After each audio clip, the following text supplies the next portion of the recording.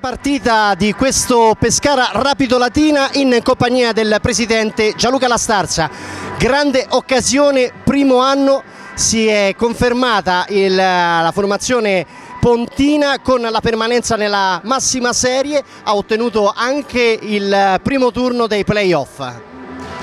Beh sì, per eh, come si era messo l'inizio di campionato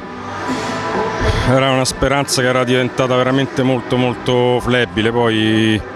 nelle ultime due giornate, ma già nel girone di ritorno la squadra aveva dato segnali importanti di crescita, aveva iniziato a prendere diciamo, quelli che erano gli insegnamenti del mister Basile, quindi abbiamo iniziato un po' tutti dopo la salvezza a farci un pensierino e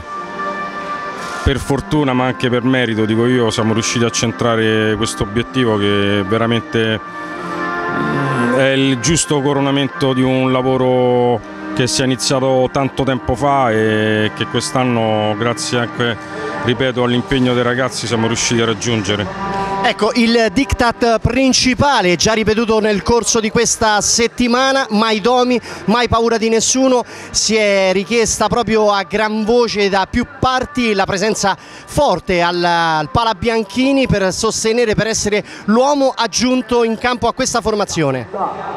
Sì, noi non finiremo mai di ringraziare tutti quelli che vengono a sostenerci in occasione delle partite. Oggi credo, immagino che ci sarà forse nemmeno i posti per stare in piedi e la testimonianza di, di quello che siamo riusciti a fare al di là sotto l'aspetto tecnico, anche raggiungendo il cuore di, di, di questa cittadinanza che, che ha capito gli sforzi che facciamo per tenere in alto i colori nerazzurri e dico che quando si fa sport a certi livelli bisogna comunque riconoscere i meriti di una società e di un team. Bene, grazie al Presidente La Starza, in questa grande attesa c'è già forte emozione proprio sul, sul, suo volto, ma stiamo attendendo anche l'arrivo del direttore eh, sportivo, anche Cristiano Marteddu. Un'ultima battuta prima del fischio d'inizio a questo punto. Ma guarda, noi su una cosa penso che posso scommettere che metteremo in campo veramente tutto l'orgoglio e tutto l'impegno possibile. Sappiamo di affrontare una squadra che classifica sotto mano insomma, ha dimostrato il suo valore, però vogliamo giocarcela, vogliamo giocarcela fino in fondo e poi quello che verrà solo Dio lo può sapere. Bene, grazie al Presidente, lo lasciamo quindi a raggiungere anche la squadra nello spogliatoio, ci sta raggiungendo proprio Cristiano Marteddu, buonasera Marteddu, grossa occasione qui per Latina, primo anno di eh, stagione con, nella massima serie, raggiunta la salvezza matematica, ma si è raggiunti anche i playoff. Eh, siamo andati oltre le nostre aspettative perché noi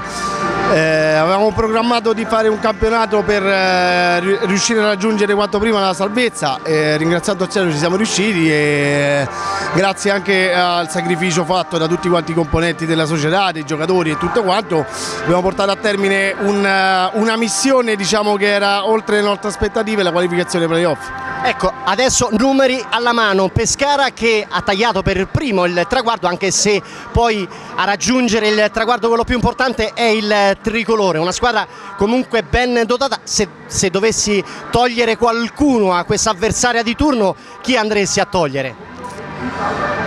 Beh, guarda, il Pescara ha un roster eh, non indifferente, quindi stiamo parlando di una, di una squadra attrezzata per la vittoria eh, finale, quindi per il raggiungimento di questo famoso tricolore.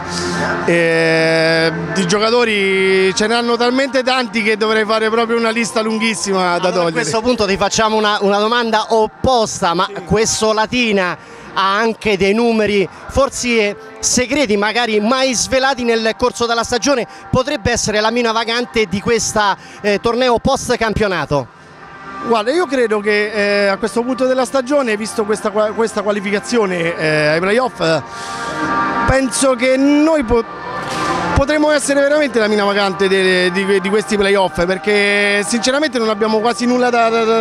da, da, da perdere, quindi giochiamo senza l'impegno costante della vittoria, quindi può darsi che questa cosa qui eh, ci possa agevolare nel corso di questi playoff. Bene, grazie Marteddu, lo lasciamo anche lui a raggiungere lo spogliatoio, per il momento è tutto, intanto va riempendosi man mano il Pala Bianchini, tra non molto inizieremo con il corso gara 1 tra Rapido Latina e Pescara Calcio a 5.